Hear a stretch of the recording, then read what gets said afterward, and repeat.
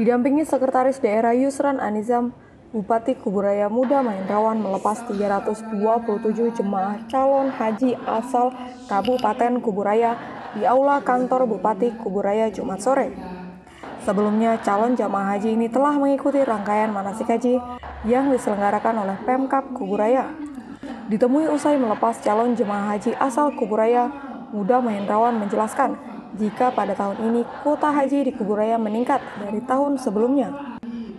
Dirinya pun berharap ke depannya kuota haji di Kuburaya dapat terus meningkat.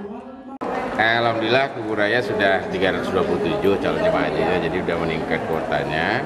Yang pasti manasik yang dilakukan juga di Kabupaten Kuburaya ini juga eh, menjadi salah satu pembekalan ya sekaligus juga kita uh, memfasilitasi lah lebih sedikit untuk kemudahan bagi jemaah haji.